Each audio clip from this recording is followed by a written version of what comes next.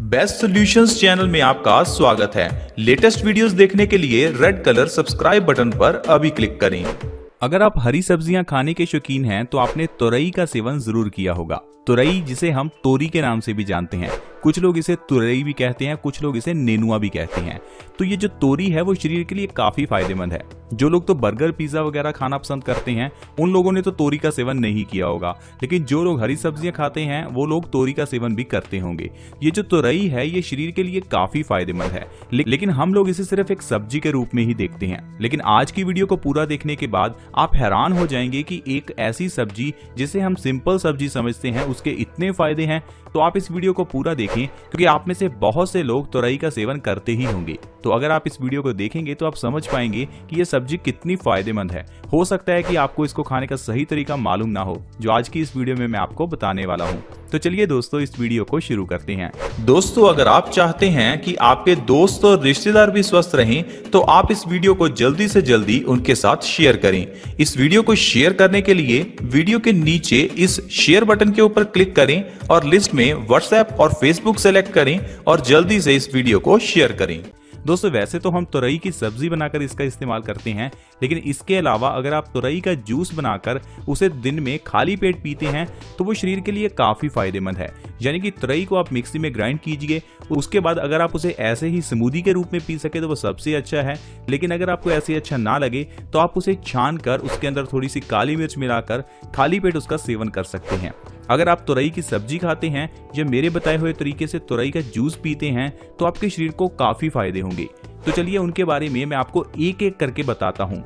सबसे बड़ा फ़ायदा है डायबिटीज़ के मरीजों के लिए, क्योंकि जिन लोगों को डायबिटीज़ की प्रॉब्लम है, उनके लिए काफ़ी दिक्कत आती है। उनको ये समझ नहीं लगती कि क्या खाएँ और क्या ना खाएँ। तो मैं आपको बताना चाहूँगा कि अगर आपके या आपके नज़दीक कहीं भी कोई डायबिटीज़ का पेशेंट है तो आप उसे बताइए कि वो तोरी का सेवन करें। यानी कि तुरई का सेवन करें, क्योंकि इसके सेवन से डायबिटीज़ कंट्रोल करने में काफ़ी मदद मिलती है। क्योंकि हम लोगों को पता है कि अगर हमें टाइप वन डायबिटीज़ है या टाइप टू डायबिटीज़ है तो ये तो हमें इंसुलिन लेना पड़ेगा या फिर हमें दवाइयों ही केसेस में शरीर के ऊपर काफ़ी असर पड़ता है। तो बेटर यही है कि हम कुछ नेचुरल चीज़ें खाएँ जिससे हमारी डायबिटीज़ ऑटोमेटिकली कंट्रोल में रहे। तो इसके लिए आप तुरई का सेवन करें ताकि आपको दवाई ना खानी पड़े। डायबिटीज़ के अलावा आँखों की रोशनी को भी ये तुरई बढ़ाती है। अगर आपकी आँखों की रोशनी कम है अगर आपकी आँखों के ऊपर चश्मा लग चुका है तो आप तुरई का सेवन कीजिए। इससे आपकी आँखों की रोशनी बढ़ेगी क्योंकि तुरई के अंदर विटामिन ए भरपूर मात्रा में होता है।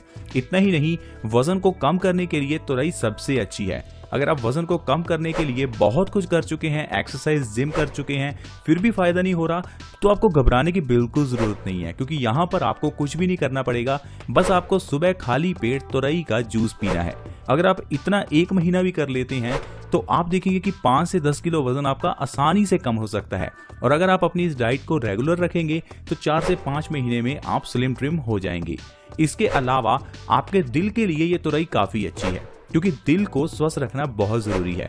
दिल स्वस्थ नहीं होगा तो आपका हार्ट अटैक आ सकता है। इतना ही नहीं, आपका हाई बीपी हो सकता है, लो बीपी हो सकता है। हार्ट स्ट्रोक बहुत प्रॉब्लम्स हैं जो दिल को स्वस्थ ना रखने के कारण आती हैं।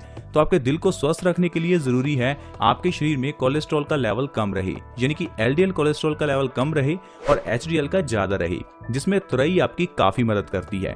तुरई में ऐसे गुण हैं जो आपके शरीर में एलडीएल कोलेस्ट्रॉल को कम करते हैं और आपके दिल को स्वस्थ रखते हैं और हार्ट अटैक जैसी बीमारी से हमें बचा कर रखते हैं।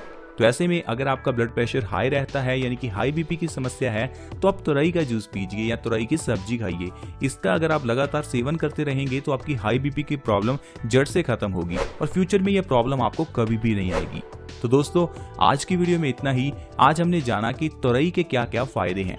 तुरई जिसे हम तोरी भी कहते हैं। याद रखें, ये वही सब्ज़ी है जो आपको मार्केट में तोरी के नाम से मिलती है। आप नाम से बिल्कुल भी कंफ्यूज ना हो कि तुरई तुरई या तोरी क्या है। आप इसमें बिल्कुल कंफ्यूज ना हो। तो दोस्तों, आज की वीडियो में इतना ही। अगर आपको ये वीडियो अच्छी लगी तो लाइक करें और मेरे चैनल को सब्सक्राइब करें। धन्यवाद।